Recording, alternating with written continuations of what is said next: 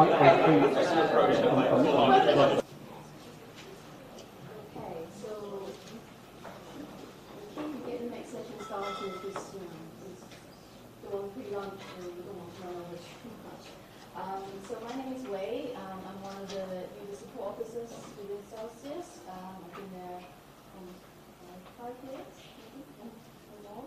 Um, so I'm here to introduce you to the next um, uh, four speakers that we have in the session. Um, so first um, up, we have um, Glenn Darlington-Pollock, who will be um, talking to us about the selective, sorting um, with regards to SBS students in health um, and to SECC. So, welcome. Hello. Okay, so I'm one of those people who use both the LS and the cross-sectional data. And during those talks, I was thinking I should have really put more of the cross-sectional stuff in, which I haven't. So sorry about that. I'll try and like slip it in as we're going through. Um, but so I'm a population geographer currently lecturing at University of Liverpool, and all of the experience I've had since using the LS, I can kind of attribute a lot of it to that learning curve and that familiarity, familiarity with those kind of data. Um, and that kind of has led to different collaborations, such as with Matt, as he previously suggested, but also experiences using big data overseas, which I'll touch on a little bit. So it's kind of it's good to use for your research and any kind of outputs you want to produce, but also, as Matt said, it's really useful for your career. Um, but it is it doesn't happen how you plan it. So that's my kind of opening slide to say this is your idea, whether it's your PhD, your research project, whatever. You start thinking, yeah, I'm going to get there, and then this happens. There might be a volcano here or something as well, but eventually you will get there. So hopefully that's how you'll feel. So an overview, what I'm going to do today is talk about selective sorting. So that's the key concepts that I was looking into. And then talk more about the census microdata. So what kind of things can you do with these different data types? Um, but then really focusing on what I did with the LS rather than cross-sectional data. And then talking more about how those experiences helped me use other data in different contexts. So that is when I talk about different journeys. So this is my little journey, starting off at Leeds, then going to Queen Mary here in London, via University of Auckland, and now at Liverpool where I am now. And all of that has kind of so much to do with the experiences I had using the census microdata and the LS. So, this is a kind of this is an overview of my thesis.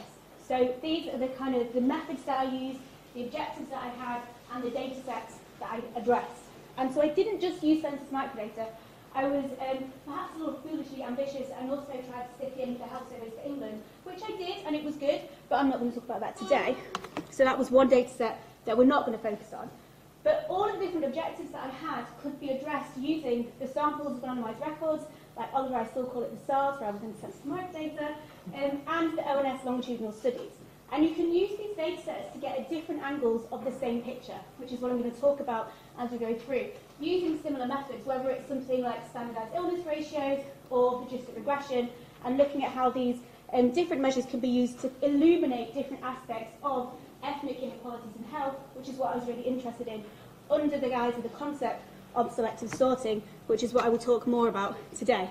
So the focus is really going to be on how I use the LS, but I will touch on other aspects as moving forward.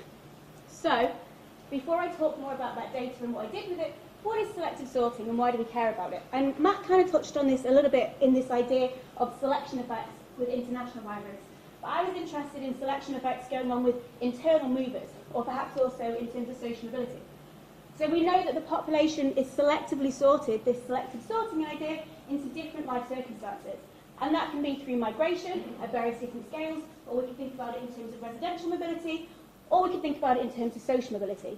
And typically, these processes, these sorting processes, are thought of in distinct ways. So you of either talk about social mobility, or you talk about residential mobility or migration. But they're interlinked. People will often move house in tandem with some kind of change in their social circumstances. So they are related to each other. We know it's selective as opportunities for migration or social mobility will vary depending on our own individual level circumstances. So your socio-economic status, also the area in which you live, so the kind of opportunities that are available to you, both in terms of education, labour market, or the kind of further areas you might move to. But it's also selective on ethnicity and on health. So those are key things that I was looking at. What I was then interested in is how this process of selective sorting might contribute to health inequalities and whether that's going to operate differently for different ethnic groups.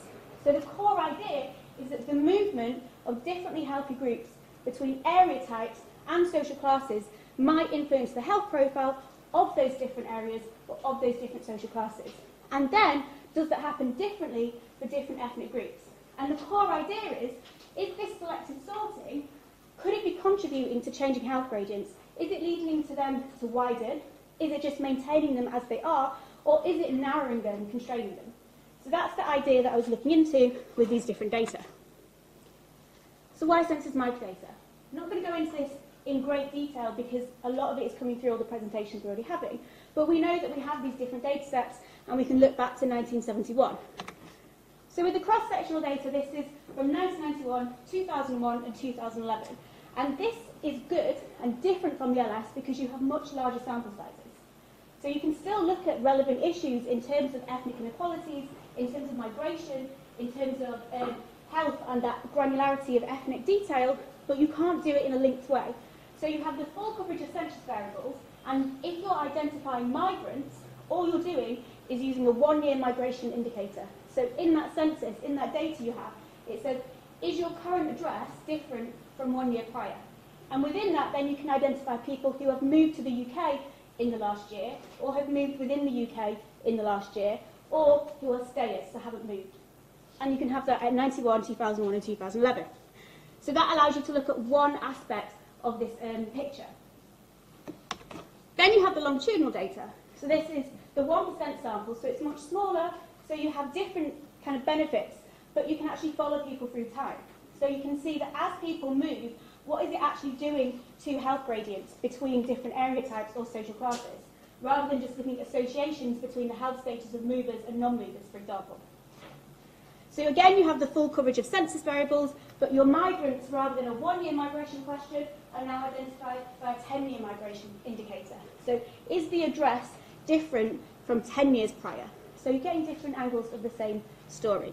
And what I was interested in is these closed cohorts of people, so people who were present at the 1991 and 2001 census, or at the 2001 and 2011 census. And this adds in loads of other questions, particularly when you're comparing it to existing work. For example, is a 10-year time period enough to look at these health differences? Should we be looking at a 20-year time period? What happens if you go back to 1971? All these different issues.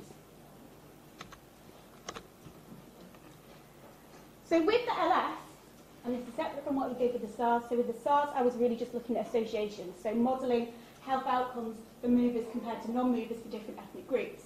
But here, there are three main approaches. So you could compare gradients. You could say, what are the health gradients by deprivation, which is what I was looking at for different area types, for people who have moved and people who have remained in the same place. If you say, okay, the population is all allowed to move, you're letting them be mobile, what does the deprivation gradient look like for health? But what happens if you then put that population back to where they started? Did you see that that movement meant that the gradient from the most to the least deprived areas widened inequalities along that gradient, did it maintain them or did it constrain them? And you can calculate that by looking at the ratio, rate ratio between the most and least deprived areas. Another way of thinking about this, instead of just comparing the gradients, is actually looking at the health status of people transitioning. If you move into or out of the least deprived areas, if you move into or out of the most deprived areas, what is that doing to the overall health gradient? So it's quite complicated, quite a lot of things to be holding on to. But thinking here then, so if you have movers, migrants and stayers, but you also have people whose area type might have changed, even if they haven't. And what is that combined influence of people moving between area types or the area type changing on overall health gradients that you see? But both of these scenarios are really just interested in the top and the bottom of the deprivation gradient. And that kind of forgets everything that's going on in the middle, which is where most of us reside anyway. So another way to look at it then is calculating the slope index of inequality and the relative index of inequality. Again, thinking about what happens if people move and what happens if people don't move. So don't worry about grasping all the kind of intricacies of this. This is just kind of showcasing the kind of different things that you can do with these data. So a few conclusions. So first of all, that first analytical approach. So we have, for 2001 and 1991 period and the 2001 to 2011 period, and you're comparing two gradients. You're comparing health status um, at the end of that study period, so either 2001 or 2011, by where people lived in 1991 or 2001, so the start of the study period, with the health gradient as it is where they live at the end of the study period. And you want to know what is the gradient, what is the difference, what is that rate ratio for when people stay where they are for when people move. So, just to kind of make it clear, this dark bar is what happens, is the health status by where they end up, by their destination deprivation quintile. The lighter bar is where they started. So does the movement appear to widen, narrow or constrain health gradients? In this case, it appears that movement, allowing people to move when they move between deprivation quintiles over this 10-year period, it could contribute to widening health inequalities. You see that the difference between the most deprived and least deprived has widened. So that's one way of looking at it, and that is our conclusion A. Healthy gradients by deprivation are steeper when groups move within and between deprivation quintiles than occur when the population is put back into their origin quintile. So movement is appearing to exaggerate health gradients. But how is that happening? So if we take the example again of 1991 to 2001 or 2001 to 2011, and I'm going to try and walk through this, I know going quite fast, um, try and walk through this with the 2001 to 2011 example. But what you have here is you have the standardised illness ratio for different transitions.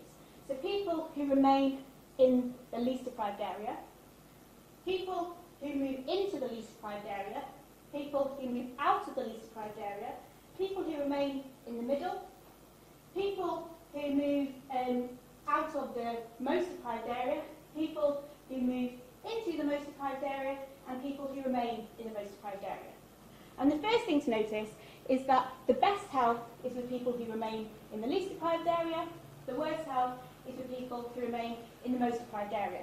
And that's true for um, both time periods. But then what we're interested in is what happens for movers and stayers to stay when areas change, and what's going on with the standardised illness ratios.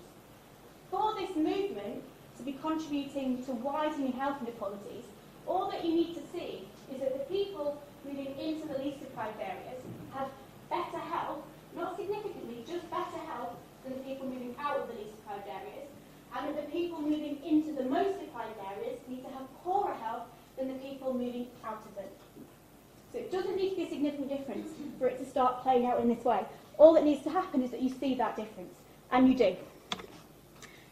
With the stayers, what you're seeing is a slightly different um, scenario. And this kind of different pattern here perhaps suggests that this movement or this change in area is at best maintaining existing health gradients. It's not necessarily constraining it. So conclusion B, transitions into and out of Q1 and Q5, so at least the most deprived by movers, could be contributing to widening health gradients. And movers churning within the least deprived areas are in better health than stayers who remain in the least deprived areas. And movers churning within the most deprived areas have poorer health than stayers who remain.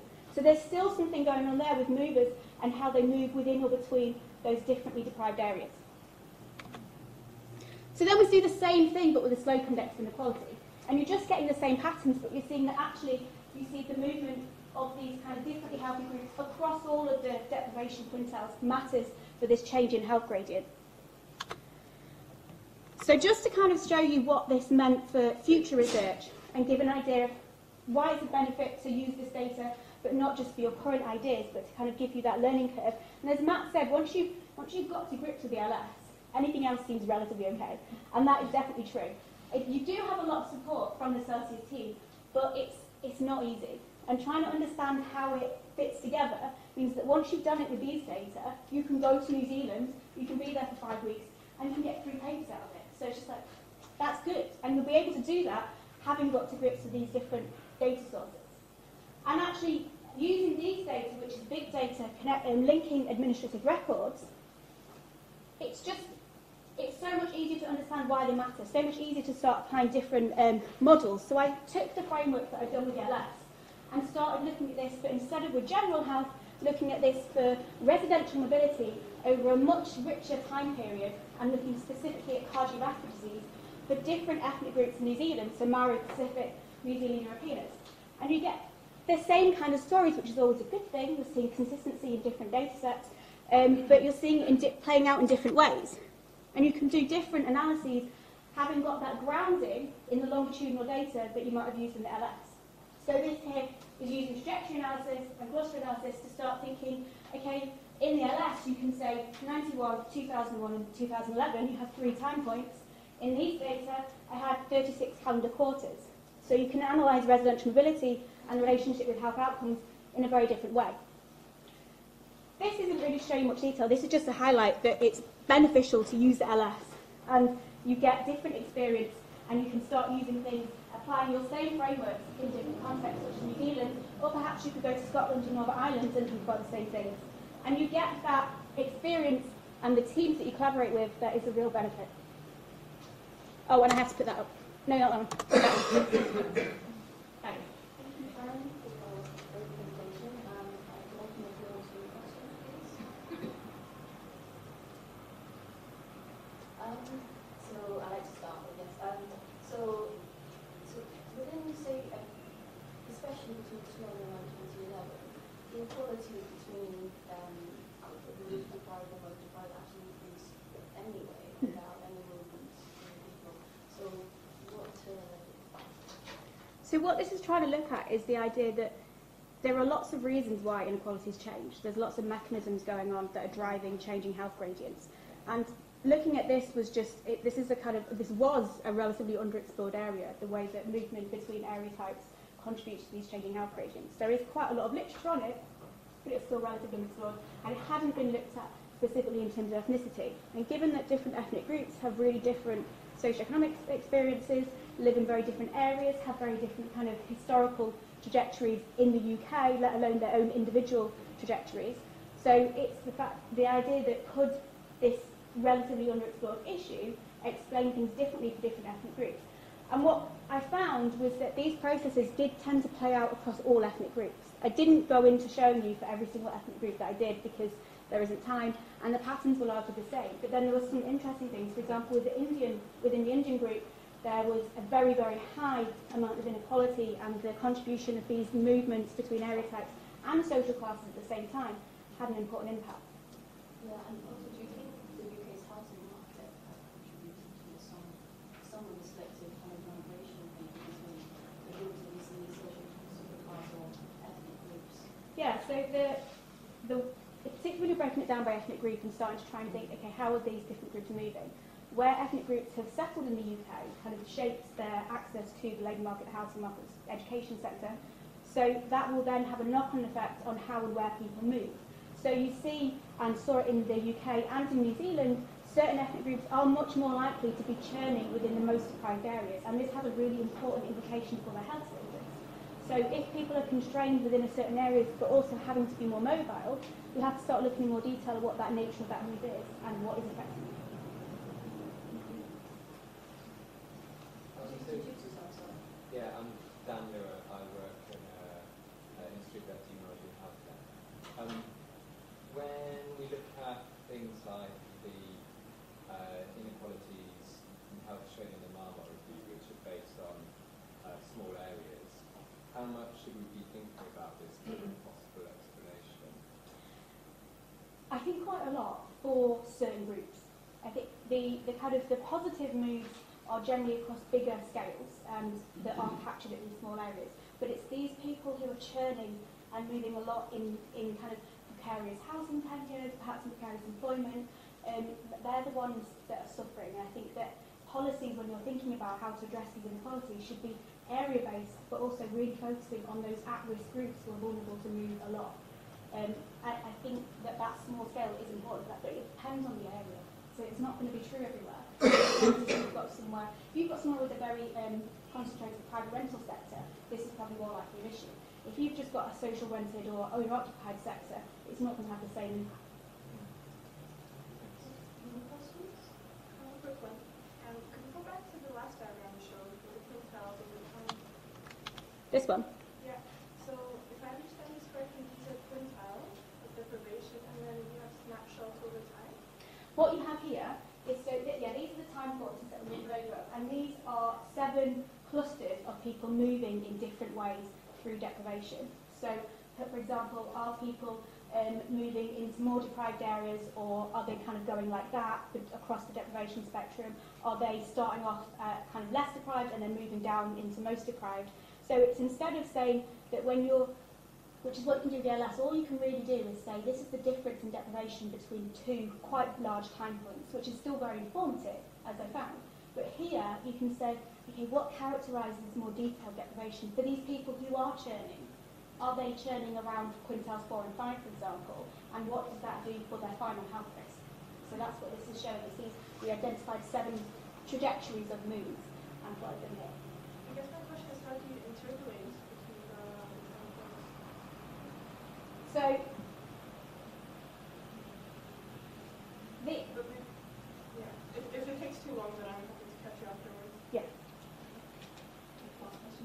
Okay, thanks. Uh, do you, uh, Campbell's report as part of work at. Uh, do you take account of the fact that areas, people might not move in an area, but the deprivation changes over time? Yeah, so we had people who were movers and deprivation, and they kind of moved between different deprivation quintiles, but then also um, stayers. So these, this black pale bar here is people whose areas changed during that time period. And they so have moved, they haven't moved, but their area has changed. And the time scale at which you look at that really matters, as you would expect. So there's like lag effects and all that kind of thing. Um, but here, you do see different patterns for the movers, but there's still an overall impact on health inequalities that gets stronger the longer the time period you look at. Thank you very much.